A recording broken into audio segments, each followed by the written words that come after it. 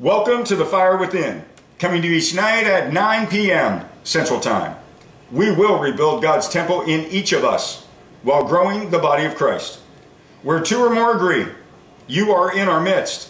Please extend your hands with us and invite the Holy Spirit into your home as we pray the prayer for Monday, August 24, 2020. Father, we come to you today to stand in the gap, praying intercessory prayers of supplication. We seek your favor to minister to all those in need, the believer as well as the non believer. We seek the guidance and help of your gentle Holy Spirit. With soft and repentant hearts, we ask you to cleanse and forgive us.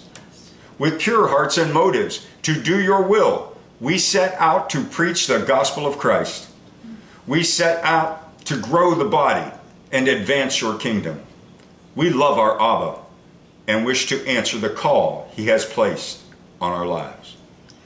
We read and now obey the commands of Scripture. We pray and commune daily with the Father, Son, and Holy Spirit. We are witnessing a revival of prayer, unprecedented spiritual growth, and more souls coming to Christ in 2020 than ever before. Thank you, Father, for your grace and faithfulness. We worship, praise, and bless you. We will bring and give you all the glory. Hallelujah, hallelujah, hallelujah. Jesus, please join us as our high priest and mediator. Amen.